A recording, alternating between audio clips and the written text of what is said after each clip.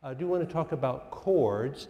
Um, last time we worked through this idea of the scale and how you can build triads on each of the members of the, uh, of the scale. And we talked about a triad being a configuration of three pitches where you take the first, the third, and the fifth.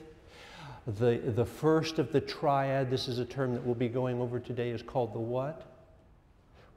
The root of the triad. So if we have C, G, the C is the root of the triad. The lowest note of this aggregate of three is the root of the triad. So we can build triads on each of the members of the scale. And we said that some of these chords tend to be used a lot more than others, that the tonic is very important, the dominant is important, the subdominant right next to and below the dominant is important. We're going to be talking about the sixth chord today. We could give that a name, we could call it the submediant, but that's probably getting too technical. We'll just call it a six chord. So we got a one chord built on the first degree of the scale, a five chord built on the fifth degree of the scale, a fourth chord built on the a four chord built on the fourth degree, and a six chord built on the sixth degree. Now, I had an interesting discussion in section this past week, uh, and a couple of uh, really good questions were asked. I started by saying, could you come up with any kind of, well, you tell me in 50 words or less what I said in lecture yesterday about harmony. How does harmony work? Can you come up with a visual image of how harmony works? So we tried out a couple of things. One of the things that we discussed was this type of imagery here, where you'd have vertically these pillars, if you will, or we could even call them more, I sort of looked at this, sort of called them tree trunks almost. And these tree trunks were the chords. And at the base of each of these chords, at least conceptually, theoretically, is this thing called the root. So I, I, like this tree metaphor here. So we've got the root here of the, and then the trunk, and then up above, of course, this florid canopy would musically be the what? The melody. Okay, so we might think about, think about that. Now, in the course of this, a student asked a very good question that I should have pointed out a long time ago, and that is when an orchestra plays or an ensemble plays, and they're, uh, they're looking at their music and they're reading their music, um, do they play a chord? The, does the violin play a chord? And are the trumpets, each trumpet playing a chord? And, and the viola, is it playing a chord? What do you think? No, it's just playing one note, one note of a chord one note of a chord. And once again, we, our ears, hear this aggregate of sound and we say, oh, it's got that, that, that, that, and we extrapolate out of that information that it is this particular chord. But if you were to, to look at what the uh, YSO has on its stands, nobody's playing a chord. They're just playing individual notes that all together form a chord. And we pointed out, however, that one individual has a, uh, the music that has all of these parts on it, and that, of course, is the conductor who has the full conducting score, the full score in front of him or her. So that was one interesting question that came up. So keep this in mind if you're wondering about this idea of chords. So we could say this is the root, maybe this is the third, and that's the fifth. These other instruments are filling in these things at various spots to produce this aggregate of the chord. Uh, supposing this, we mentioned this also, this idea, supposing we had other things kind of running around there. Without those other things running around, we would have a good sort of model of homophonic texture, sort of block chords changing in that fashion. If you put in other little strands of melody, it changes it more toward polyphonic texture. Uh, let's review another point, and I'll get to a second question that was asked. Why do we have to change chords? We talked about this last time. Why do we change chords? Yeah. Because the melody changes, and not all harmonies are concordant with every note. Someone asked me, well, why are some, why are some notes, why are some notes consonant, and why are other notes dissonant? And the answer has to do with ratios and string sizes and lengths of pipe and things like that.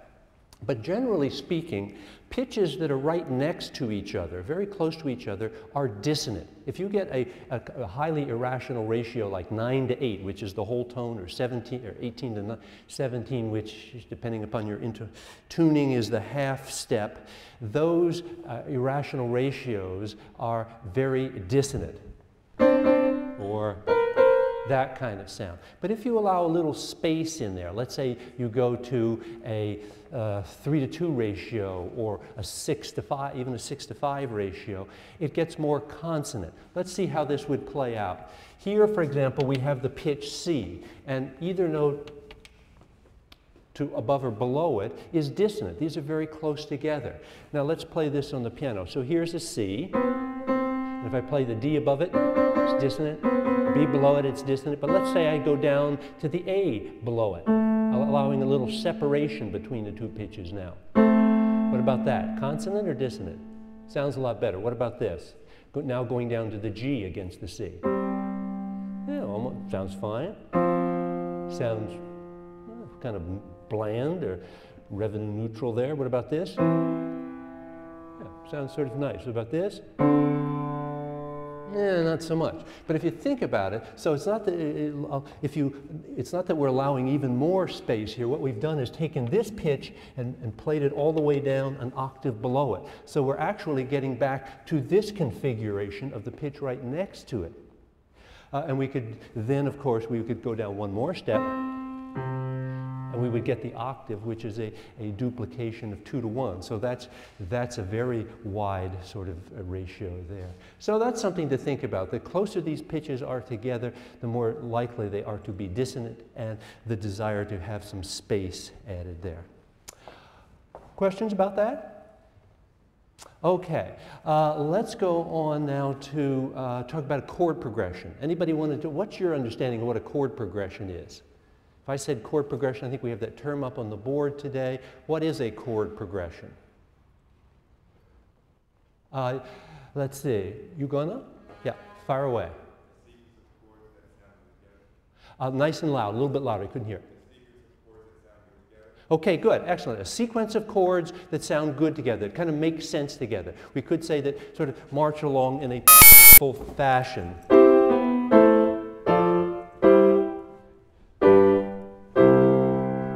Make sense together. All right, they, they seem to be going somewhere. And there's this sort of force of pull or gravity in music having to do with uh, some chords wanting to go to other chords. Uh, so we've got a chord progression. We've talked about the root of a triad. The root of the triad is the bottom uh, most pitch of that triad.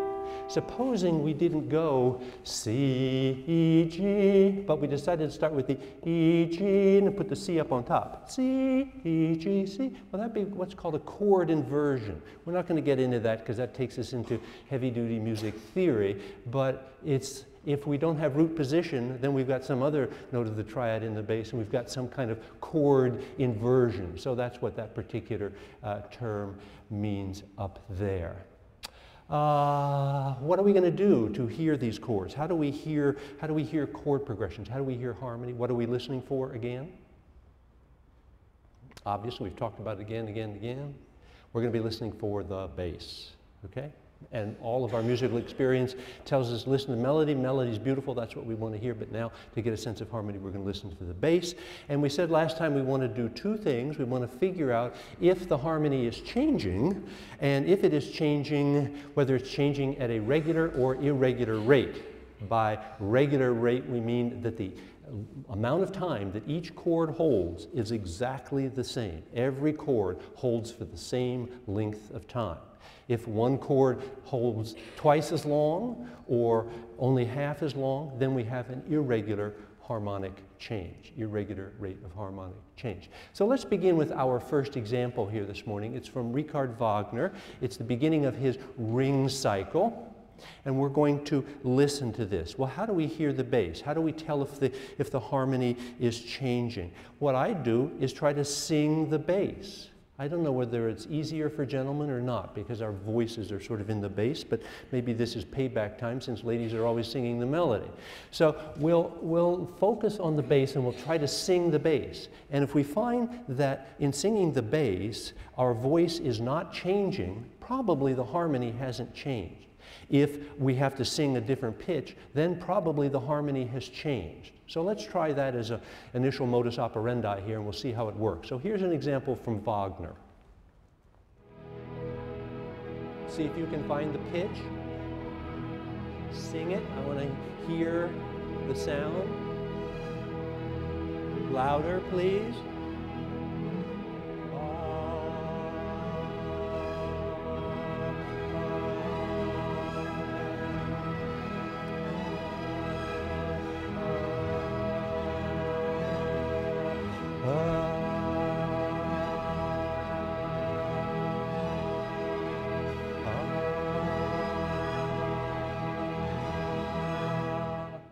Did it change?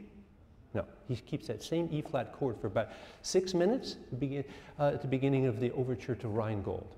And on the basis of that, you know there's going to be a very long opera. If he's going to sit there on one chord for that amount of time, it's going to go on for a long period of time. Okay, let's listen to a, an example from the realm of pop music this time. Uh, what about this one? Is it changing? I think this is Dave Matthews Band. What about this one? See if you can sing, sing the pitch.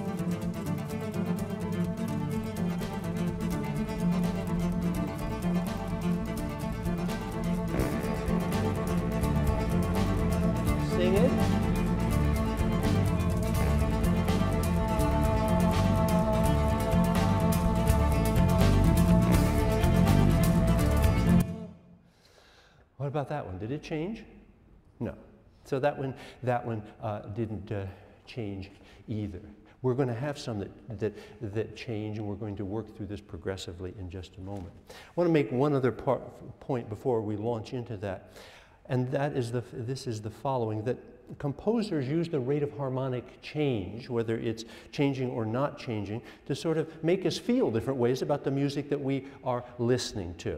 Uh, gives a, a, sense of what this music is all uh, really all about. And since, as we will say, so much classical music doesn't have a text with it, we've got to have some markers in there to, to know uh, what, what the composer is trying to communicate to us. Here's a famous example uh, from Mozart's G minor symphony.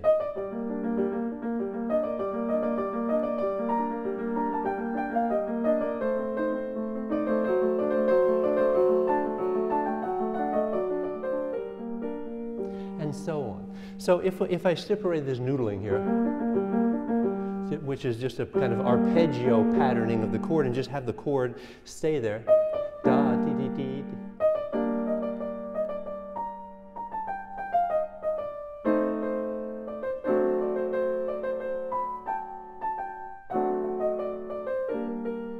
right, so those are the chords underneath. Notice at the beginning, one, two, two, two, three, two, four, two, one, two, two, two, three, two, four, two. At the beginning, these chords are holding for four measures or a total of eight beats. Uh, then as it goes on,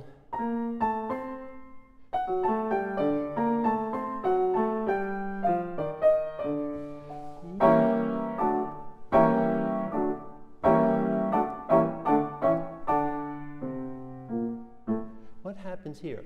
Change, change, change, change. Changing on every beat. Then change, change, change, change, change, change. Then we're getting two changes per beat. So what's happened to the rate of harmonic change here? Is it regular or irregular? Highly irregular. And what is happening to it?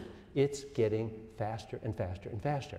So here in the G minor symphony, we feel this, oh, it's so, it's so full of tension, angst, uh, anxiety, uh, perhaps passion. It's driving somewhere. And one of the things that's driving it is this accelerating rate of harmonic change. The amount of time that each chord is holding is getting shorter and shorter and shorter as we drive into that, drive into that cadence. Now the cadence is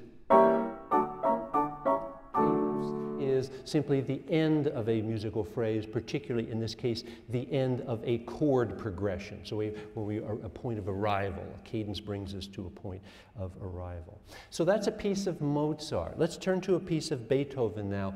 Uh, his Symphony Number Six, the Pastoral Symphony. Let's listen to just a bit of it.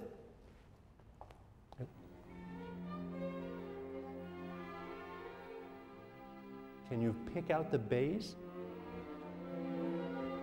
Can you sing the bass pitch?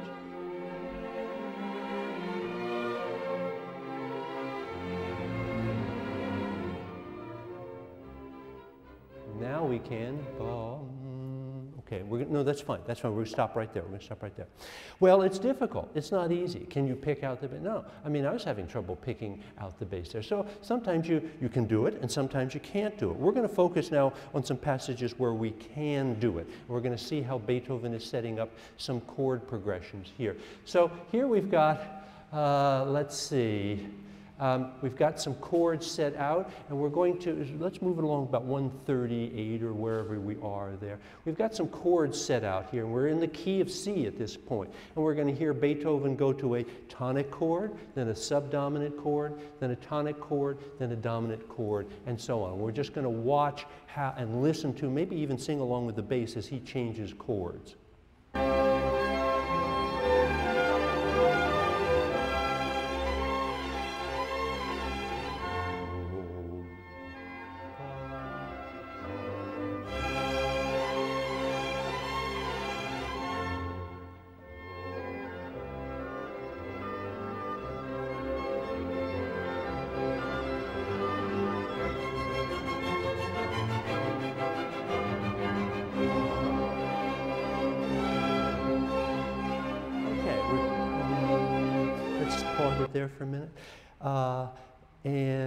Let's work, we'll hear that again. But as you can see, bum, beam, hold on that bum, bum, bum, bum, bum, bum, bum.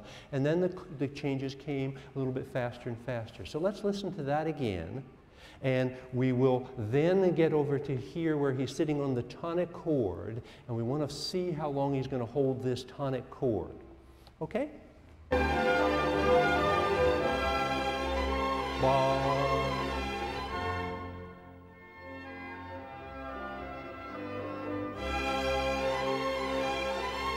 Irregular, huh? Because we're held a long time there. Now moving faster.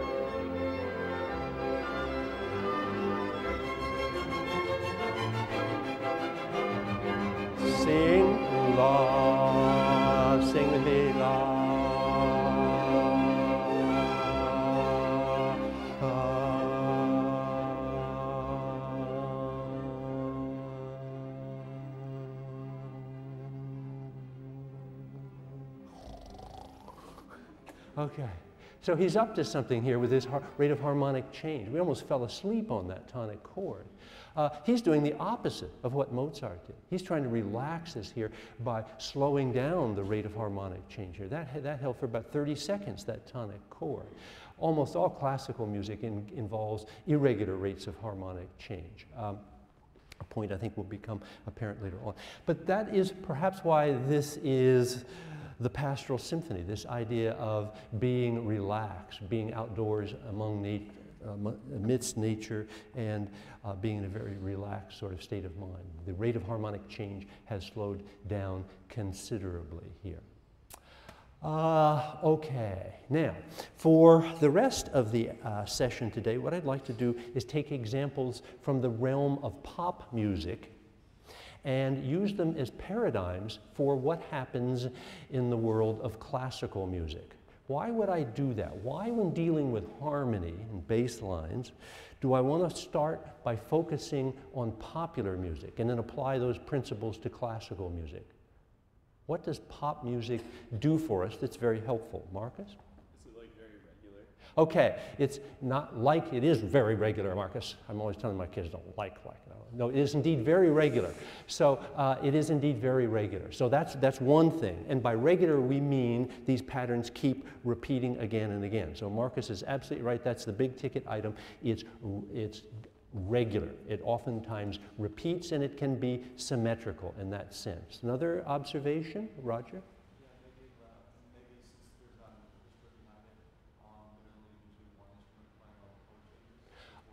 Okay, yeah, it's, uh, that's another point. It's more obvious because there's probably fewer lines there so that you can focus on the primary line, the basic line, the bass line. Yeah, so there's a, a, a, um, it's probably simpler in that sense. Any other observations? Well, here's one other that you might not have thought of, uh, and that is that most of the chords in rock music in particular tend to be root position chords. Uh, for, and for that reason, they're easier to hear. When you start getting in inversions, God, what note is it, what chord is it, that obfuscates the issue. So because so much popular music, and particularly rock music, has those chords in root position, we can track them more readily. And then finally, we could add that the idea that maybe with a lot of uh, uh, electronic basses and things like that, that they, play, they tend to play the bass just louder. Okay? So all of these factors, particularly the idea of regularity and repetition. So let's take a couple of examples here. Now let me go over and look at my list. Um, okay, I think we have something, I've chosen something called Badly Drawn Boy. I had this in my collection. Anybody ever heard of this? Is, okay, one, two. This is not, okay, three. So this is, is that, is it badly drawn boys or boy? Boy. What? Singular, okay. Um, we're going to hear just a, a, few seconds of this. See if you can determine how many chords we have here, whether we have uh, chord change. If so, how many chords are, are involved in this chord change, and are they changing at a regular or irregular rate?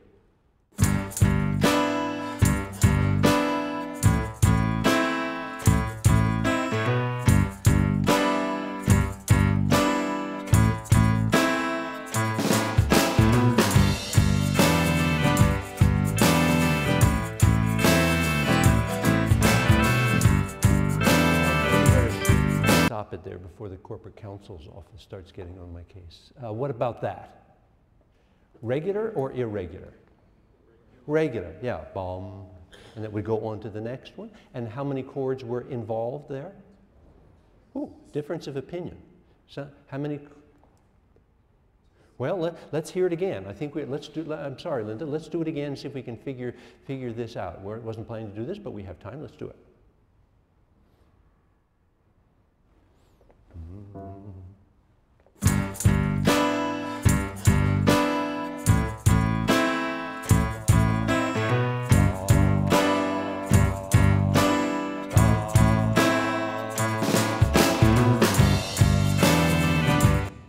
So, two. Yeah. Edward?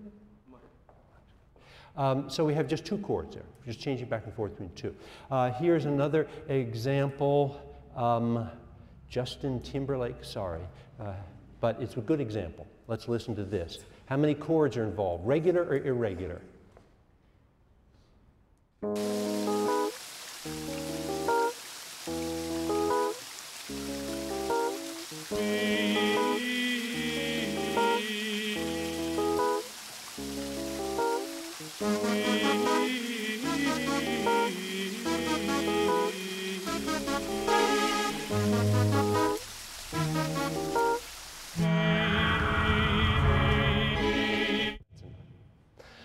Regular or irregular?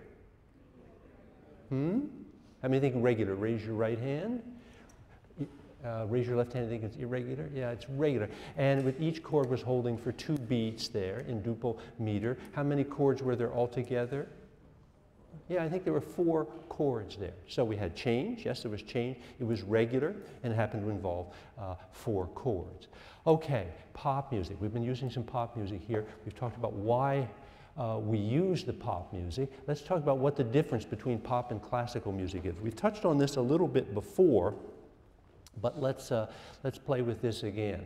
Uh, let's say you go home for Thanksgiving break and your grandmother says, What have you been doing at Yale? Well, I've been taking this course on music and we've been studying classical music and some popular music. And she says, What's the difference? Tell me, what's the difference between popular music and classical music? How would you explain to your grandmother what the difference is? Maybe six, seven, eight different bullet points here. Who could get us started? We've talked about some of these already having to do with the nature of the harmony, that pop music tends to have uh, simpler harmonies and that those harmonies tend to be more repetitious, that they tend to have harmonies that have chords in root position. And here's one other thing you might not think of uh, and then I'm going to stop and I'm going to let you add things here. They tend to be just triads, whereas in classical music, we could have a triad, but we could also add a, a seventh note. One, three, five, seven, nine. That kind of thing. It gets more dissonant uh, the more notes that you add there. So classical music does involve more complex chords. Okay, what else? What else here? Um, Oscar. Pop, pop music tends to have a vocal part. Why?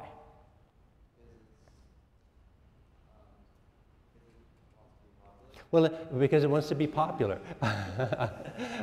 it may be a circular argument there. Uh, well, okay, but, but if, if, if you're going to have a singer, what's that singer going to be singing? A, a, a melody? Well, classical music has melody. We have a violinist play a melody. If you have a singer, a singer is going to be singing a, a text, right? We talked about this before, that classical music, probably 85% of it, does not involve a text. And that's, that's a whole different ballgame because then you have to communicate meaning in a completely different sort of way. Maybe you communicate meaning by slowing down your harmonic motion to make us feel relaxed. So that, that each of these, uh, with, with pop music, you have, you know what the thing means principally because of the text. But with, with the classical music, you've got these sort of subliminal symbols in there, subliminal signifiers that we got to pick up on. And we'll be talking more and more about that. So we do have, that's a very important point that Oscar raises there. We've got text in pop music that tells us what this music means. Anything else? Uh, Caroline.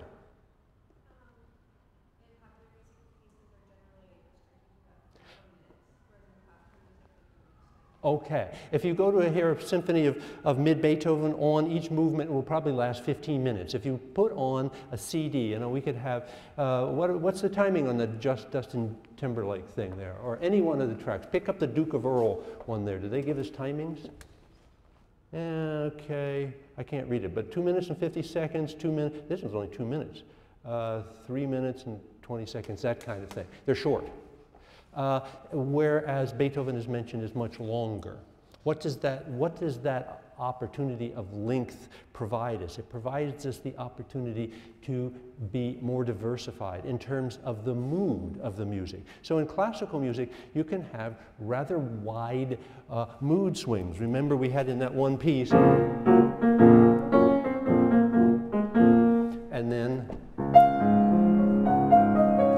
modulation tying them together, but those were completely different sentiments. Usually, with a piece of popular music, you get a single ethos, a single feeling, a single mood associated with the uh, piece, and the piece will tend to be shorter.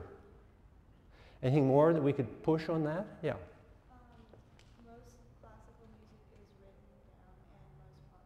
Okay, that's it. Yeah, most classical music is written down. And we've talked, we spent a lot of time talking about that. And most popular music, virtually all of it. Although after the fact, people try to write it down. You can, you can go buy a score of, of, of the Beatles, for example, although they didn't design this initially with, with uh, music. But after the fact, people sort of listen to it and, and, and, and make, make written, put in written form what had originally been just an orally conceived artistic statement.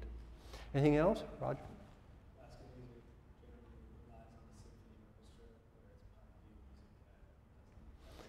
Yeah, oh, so we've got the difference between acoustical instruments, which are sort of natural wood and strings and that sort of thing, and electronically amplified sound in which it might be sent to a mixer or perhaps a synthesizer that could play with those partials that we talked about and maybe turn a clarinet, uh, somebody playing at a keyboard and you want that keyboard to sound like a trumpet, well, you just turn a mixing board and you can get those pitches to sound like a trumpet. Or, for example, let's say you're Cher and you're getting into your early 60s and you really can't hit that high note anymore. You can get electronically that particular sound to be enhanced. And let's say you can't hold that. Let's say Pavarotti at the end of his life couldn't hold notes as long as he could uh, when he was recording in 1978. Well, you can just, uh, an, an, engineer will just sit there and, and, isolate that second of sound and then give a times three command and boom, well, look at Pavarotti hold out that note. Well, it's, it's the miracle of the engineer and, and not the singer. So uh, there, uh, there are a lot of uh, acoustical things, uh, sort of tricks of synthetic things going on in pop music. Yeah. Well, not just the, um, the chord progression, but also the structure of the piece, like popular music. There's often a couple of verses and a chorus and a bridge, and you can predict each different movement of the piece much more regularly than you can a whole movement couldn't say it better myself. Uh, say that nice and loud so everyone can hear it.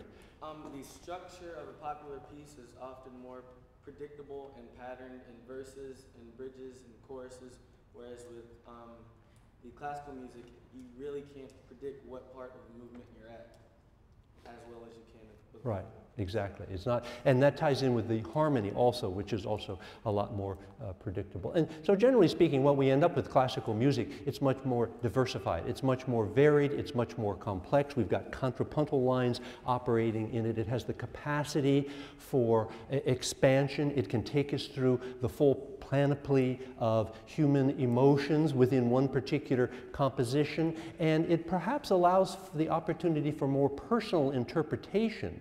Exa exactly what does this music mean? More personal interpretation because we're not tied to a text. We're not linked in to a particular text that tells us what it's about. So those are just a few, few ideas as we, as we pursue this. Well, what I'd like to do now is uh, uh, move here to a couple of additional pieces. And we're going to use an example of pop music now with a three chord chord progression. We've heard, I guess it was badly drawn board, boys there with a two chord chord progression. Now we're going to hear uh, Beach Boys, I guess, with a three chord chord progression, and it's going to be subdominant, dominant, tonic.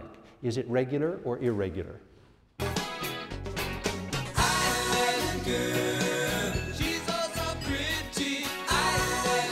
Try to sing the bass.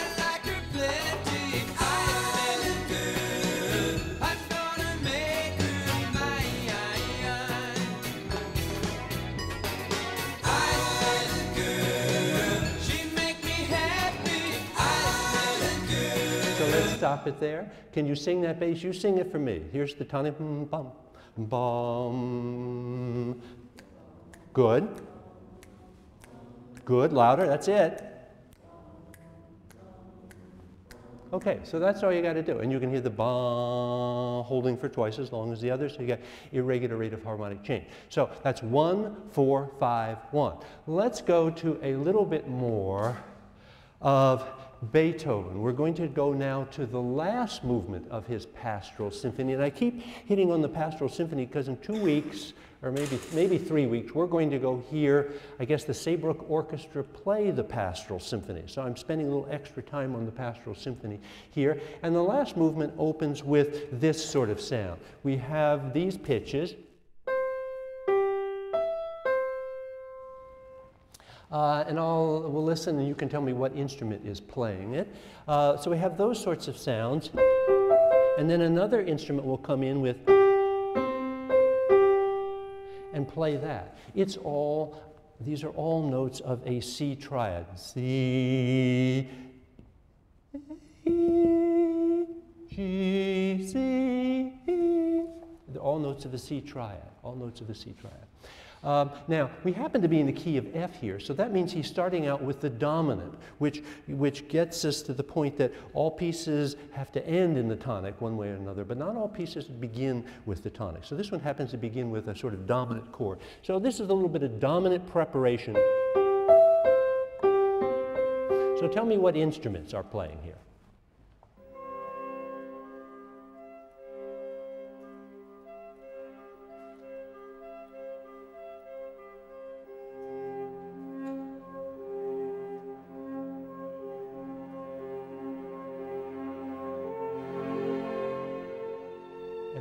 Strings come in. So let's pause it right there. So what was the first instrument? Anybody pick that up in that one playing? On the quiz or the test next week or uh, on Thursday, we'll give you three, at least three playings. Robert? Clarinet. Yes, it was a clarinet up there, nice and high. And then another instrument came in with. What instrument was that? French horn, yeah. But notice that they, if we take this aggregate,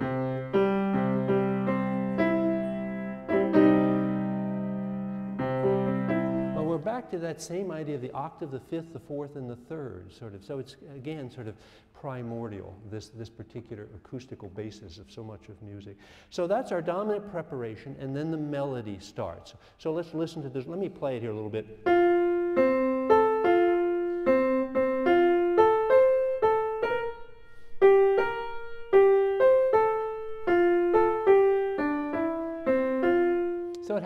Antecedent consequent phrase structure with the, the well, once we get up there, that's sort of the end of the antecedent phrase, and we'll have a chord change. What we're working with here are the same chords. We've sort of gone from the Beach Boys to Beethoven here.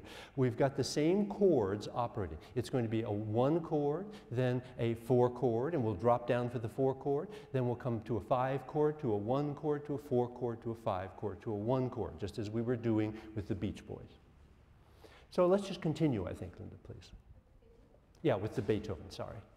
Whoops, did we, we lose our friend Beethoven? Well, we'll, we'll res resuscitate Beethoven here. How many of you have ever heard this before while Linda's getting this set? Let us see if we could sing it together, and because we're going to do this in a different way and say, la, la, la, la, la, la, la, la, la, la, la la la la la la la la la la la la la. Okay, so let's sing this. That's the melody, and we're going to sing lum bum bum bum bum beneath. We're going to sing Beethoven's bass beneath Beethoven's melody. Okay, this is this is the intro. That's fine. We'll listen to it. Here comes the horn.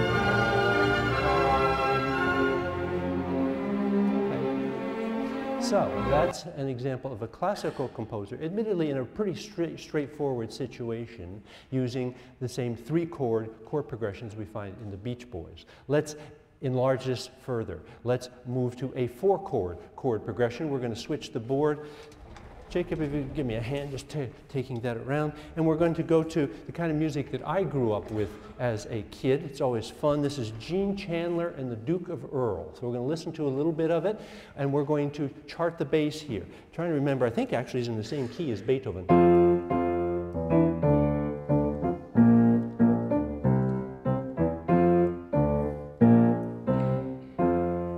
See exactly what it is that he's doing here. So we're going to try to lock in on the bass. Here we go.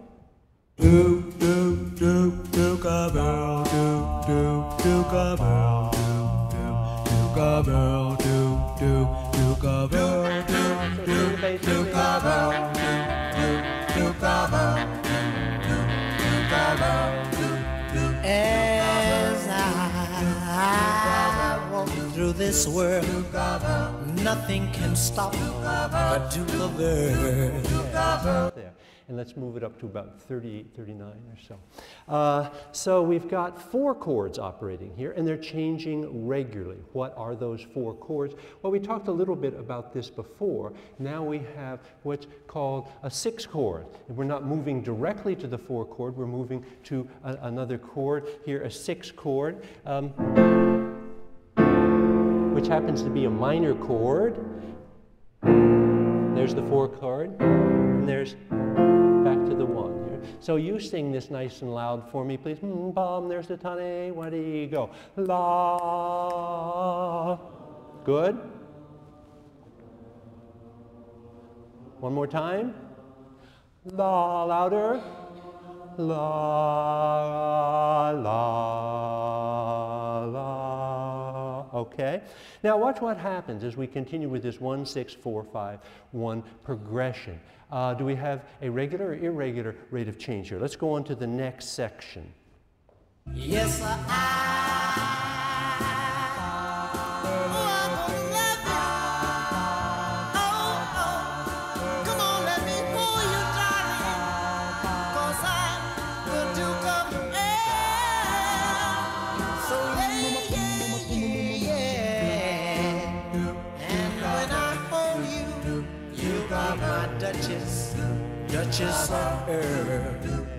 We'll walk through my dukedom and the paradise we will share. Yes, I.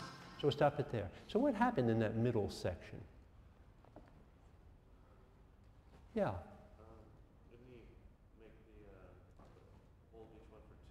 Good, yeah. Uh, if we're ya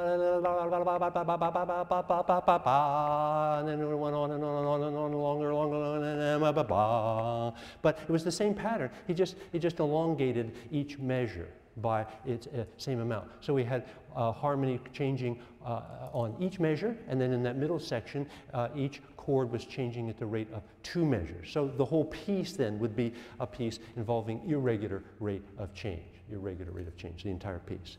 Okay, so uh, that's the Duke of Earl progression, the basic 1, 6, 4, 5, 1. Now I'm going to play a, a, passage of Mozart, uh, a, a, symphony by Mozart here uh, that he wrote at the ripe old age of nine years. Nine years. This is Mozart at age nine. He'd actually written a couple of symphonies by this time. This is symphony number five in B flat. Uh, so let's listen to this. We're just going to listen and see if, see if anything uh, strikes you as interesting.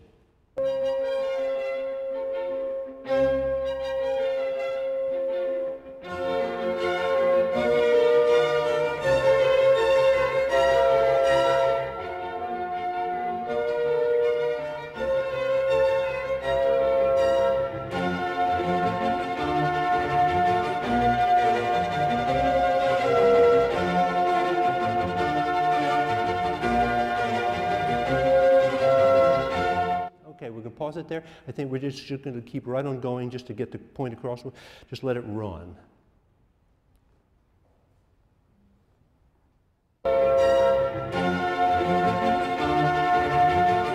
So you could sing this bass.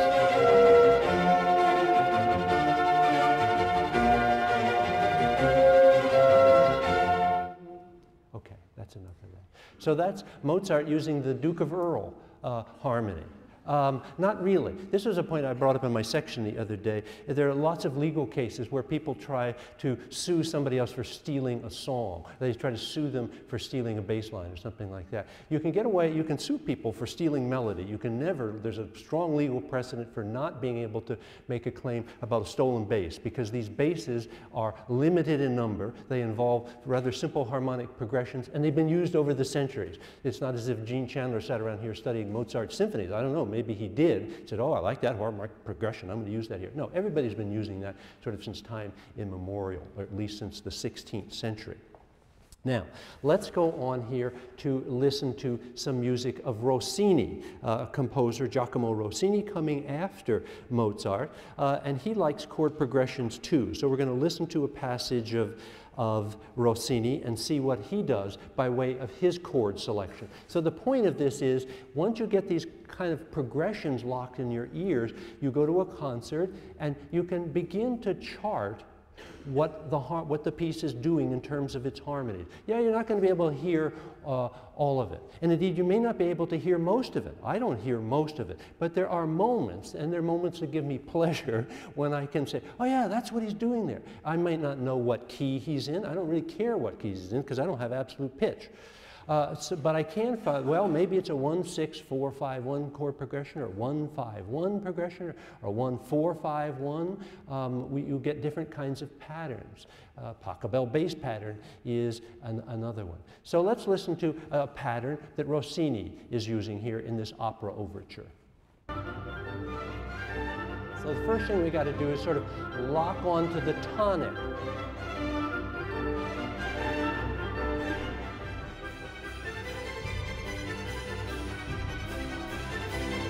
Taking me a while. Let's stop it right there.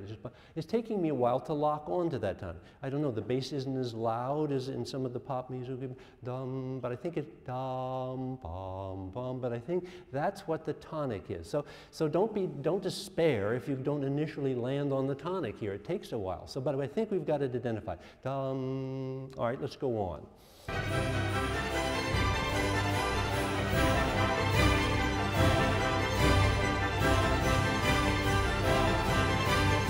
Right there. So he's going bum, bum, bum, bum. What would you guess those two chords are? If you said this is the tonic, bum, other one's probably going to be the dominant. If you ever hear music rocking back and forth repeatedly between two chords, it's probably tonic, dominant, tonic, dominant. Remember we had that even with the Strauss. The timpani played that tonic, dominant, tonic, dominant, tonic, dominant. So if you two chords rocking, it's probably tonic and dominant. Okay, let's see how he expands this a little bit.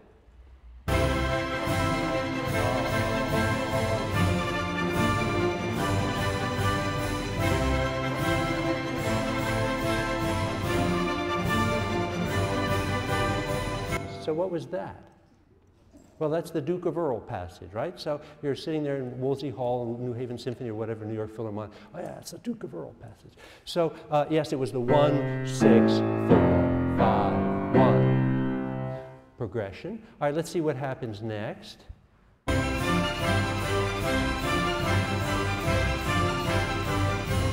So what happened next was he then started to run that faster. Bum, beep, beep, ba, bum, bum. Twice as fast as it had been before, changing rate of harmonic pattern, okay?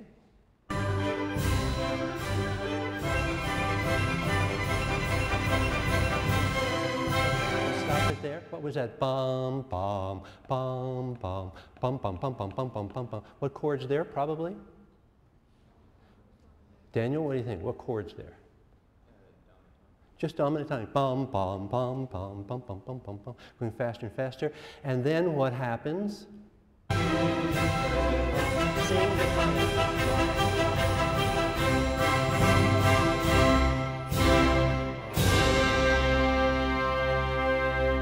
the end of that was all just the tonic. He just sat there on the tonic forever. It's a good example of sort of real time and psychological time in music. You knew it was time to start clapping. As soon as that chord, hit that, stop going back and forth tonic dominant. Just sitting there, that piece is over.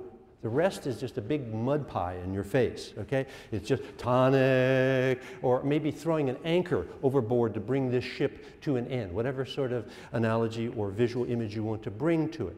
But it's, uh, the piece has ended, even though we are continuing to hear sound harmonically, psychologically, we know we're finished when he hits that particular tonic. Okay, I think our time is up. I'll see you Wednesday evening and look for an email uh, early this afternoon about individual help tomorrow afternoon.